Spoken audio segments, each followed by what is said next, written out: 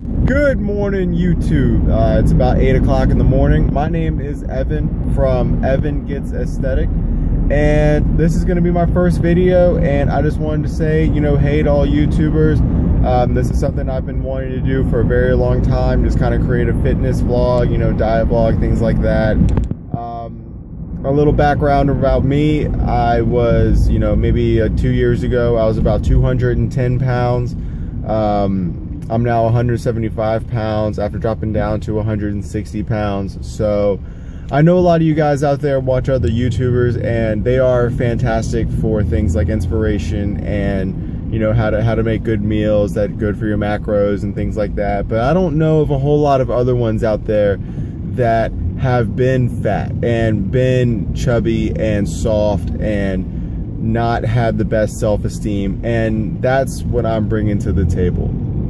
I know what it's like to be at a bar, be at a club, and wish, hey, you know, I, I wish I looked like that. You know, if I had only put the time in, I would look just like that, um, and your confidence would be way better. Well, I'm here to tell you that you can do that. Um, uh, probably in another video, I'll throw some pictures on there, you know, maybe like a hashtag transform, Transformation Tuesday or something like that, something cheesy.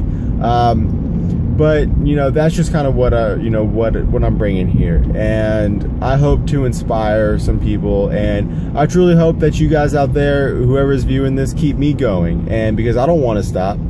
Um, you know, I, I know what it's like to to not be in the consistent fitness game and not really care about what you're eating, know what you're putting in your body, and it's it's not a fun life in the end. It's fun at the moment, but not at the end. So that's that's really it about me. Um, I do want to open this vlog series with a question that I know a lot of people struggle with, and it is the question of should you bulk or should you cut?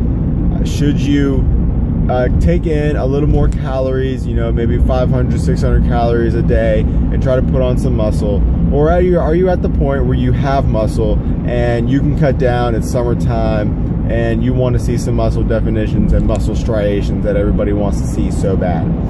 Well, I am living proof that this is not an easy question to internally uh, answer for yourself. Um, when I was, so I was 210 pounds.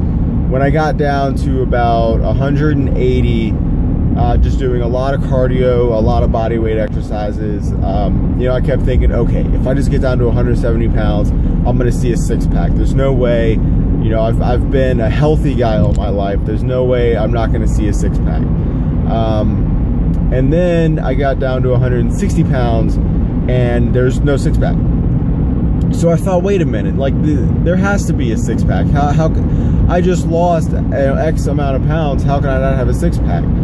Well, it took a lot of research and a lot of searching online and you know reading books about it and I just came to the you know to the decision that I don't have abs to show and that's the key. If you don't have abs, you're not going to have abs will show.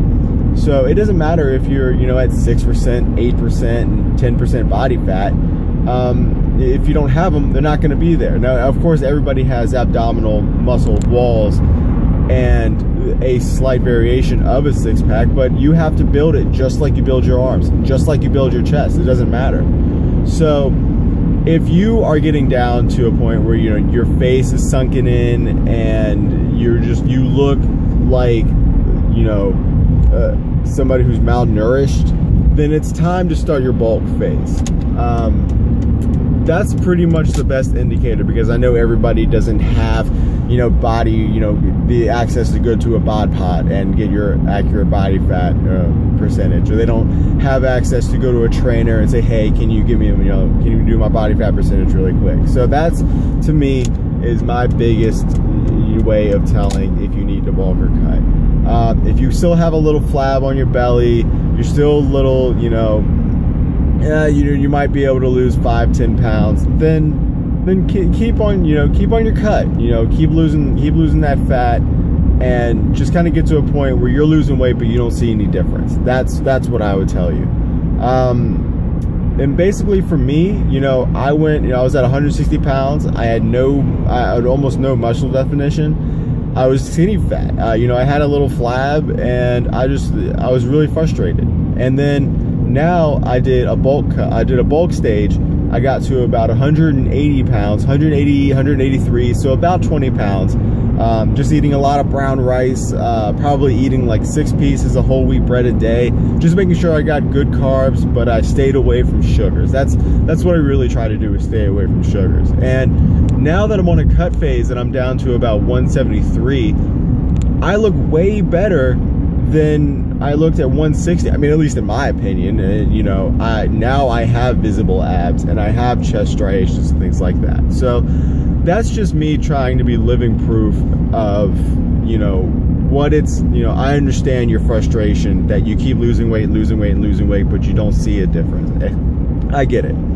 Um, so yeah, just give it a try. If, if you feel like you're not, you know, if you're not seeing muscle, you know, gain muscle to see muscle.